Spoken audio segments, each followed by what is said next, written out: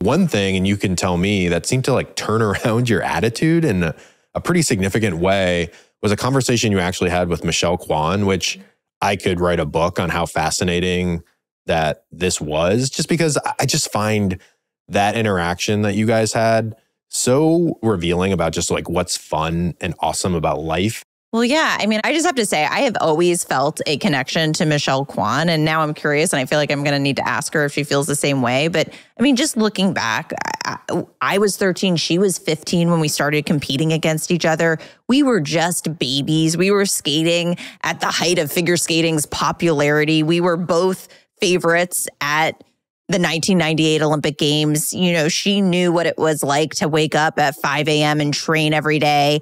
And we just have this really, I think, unique period of time in skating that we shared together. And I feel like I've always tried to fill you in of like, Todd, this is what it was like. And, you know, I tell my friends, but, you know, she's really the only one that knows what it feels like, like I did skating out to center ice that night. But I saw an Instagram post that she put up announcing the birth of her baby girl. And I read the caption and I just felt like, maybe she might have had, you know, a similar journey. Who knows? And I just picked that up from her caption and said, you know what, I'm just going to DM her. And I just reached out and I just said, hey, like, is there any way we can chat? Just wanted to talk to you about something. So we did. And we had a two hour conversation. And like you said, just reconnecting in this way. Of course, we've seen each other at events and whatnot, but reconnecting in this really vulnerable way for two hours was so crazy and so beautiful in a way. She gave me great advice and beautiful stories. And, you know, I think at this point, I was doubting myself of what I should do next.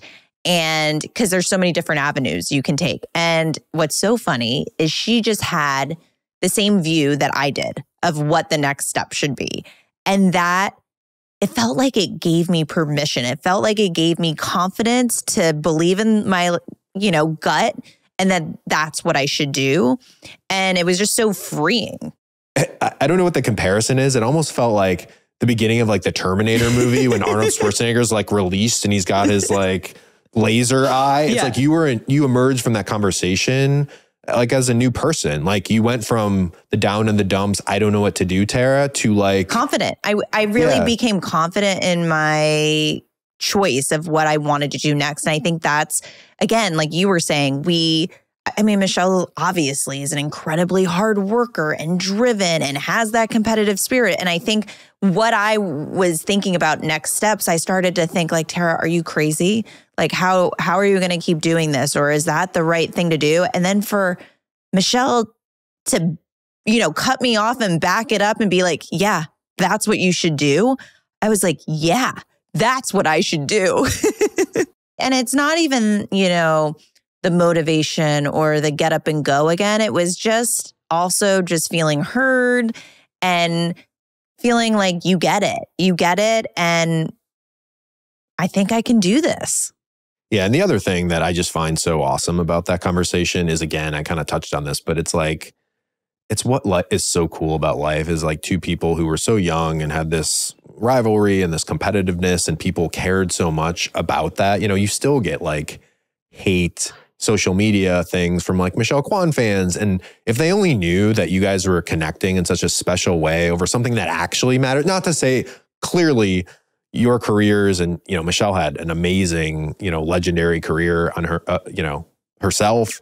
And it's important obviously. Athletic accomplishment is super important. And you know I'm sure you wouldn't give up what you accomplished back then for anything.